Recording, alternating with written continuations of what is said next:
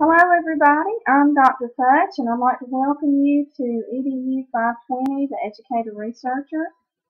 And this is a new for me. I, I love to use screencasts and I'm going to start uh, something new this term and see if it helps students by going through some papers, um, the short paper that you will have due several times uh, throughout this term, also the um, article critique, and even going through the template for your critical task at the end.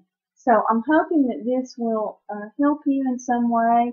And I'm just going to go over through this, go over this paper, and I consider this um, not a perfect example, but it is exemplar of what I'm looking for in the short paper.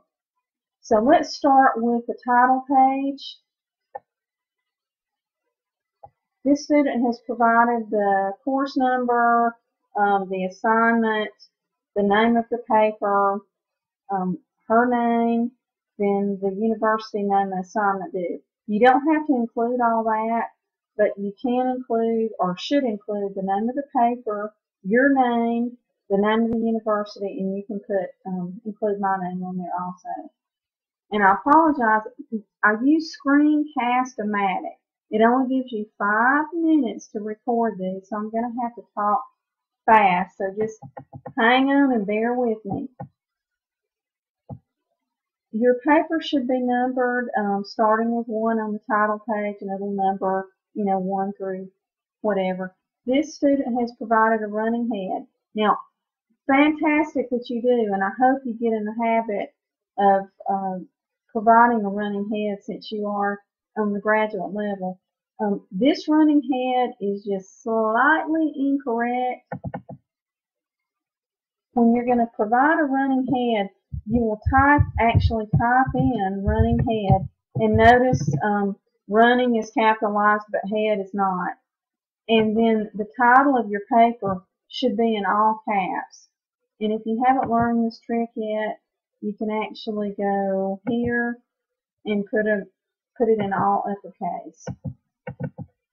Now, I don't have time to show you this, and you may have to Google it, but on your second page, you're not going to have running head listed, but you should have this in all caps.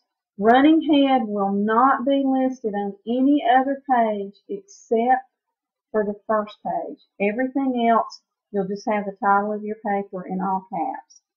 You'll also have the title of your paper here. And keep in mind, when you include the title of the paper, all words greater than four letters will be um, capitalized. The first, you know, first letter in the word will be capitalized. In your short papers, in this, in the case of this short paper, you're uh, going to be writing about the greater good, whether um, using human subjects um, that you may cause physical harm or emotional harm, is it worth the risk for the greater good? And you're all going to have different opinions, and that's fine. I just want to want you to back it up with cited evidence. But this student does a good job of setting the paper up, and she provides a thesis statement here. And that is most important that you provide a thesis statement in your first paragraph. What she does um, that, that I prefer you to stay away from is using first person, that's using I or my. She could cut this off and just say, um, although unethical research practices have resulted in significant knowledge gains for humankind, the greater good that comes from such experimentation warrants, you know, blah, blah, blah. You don't have to leave, you don't have to include I do not or I do believe.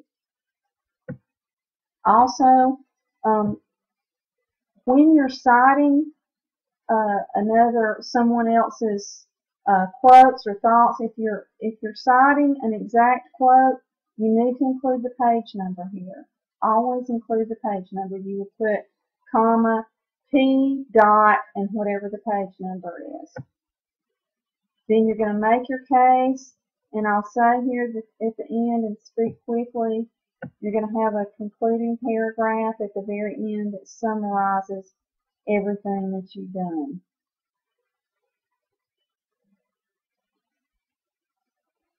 And then lastly, references. Make sure that your reference um, first line goes all the way to the left margin, but all lines underneath are indented five spaces, and also you want to double space this area. I'm going to provide you with a link to OWL Purdue so that you're going to know how to set up um, your reference page. Notice that first word is capitalized in the title. All other words are, are lowercase unless it becomes behind a, if it comes behind a colon or if it's a proper noun. And I know I went quick, but I don't have much time. I hope this provides you with some helpful hints so that you know what I'm looking for, you know what kind of format that I'm looking for. I will also provide this example. Um, I will attach it to this announcement.